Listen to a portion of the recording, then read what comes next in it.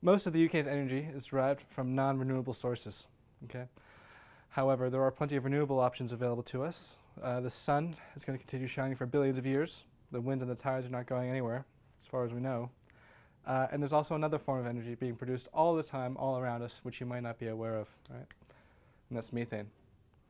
So the combustion of methane can produce large amounts of energy.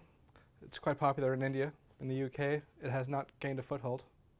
So where does this energy source come from? These guys. Cows get most of the blame for the production of methane, but it's actually the microbial communities inside its digestive tract which are responsible. That process will continue even after the feces has left the cow.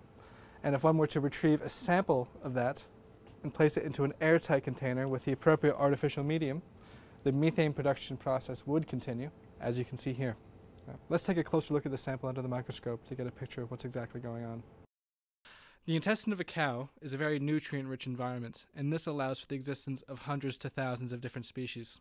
Okay, so as you can see here in this image, this complexity is completely overwhelming. We can't actually do anything with this by ourselves. We have to focus in on our core interest, which is the methane producers known as methanogens. So if we want to isolate these guys and study them further, we have to take some very special precautions. Methanogens are incredibly sensitive organisms. Even a tiny amount of oxygen will kill them. So here you can see my colleague working in the anaerobic chamber, where all the oxygen has been removed.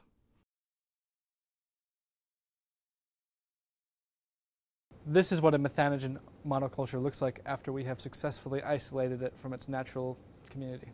Right? So of course these guys are responsible for all of the methane production in the cow, but they don't do it alone. So they rely on an extensive network of other bacteria in a food web. This is where the real science begins, you see, because now that we have our monoculture, we can mix and match different players from that food web with this guy to find out what does a stable community look like? What are the properties of an efficient community? What does a weak community look like? And the, these design principles can be used to tell us all sorts of things about how nature works. All right. So thank you very much for listening. Have a great day.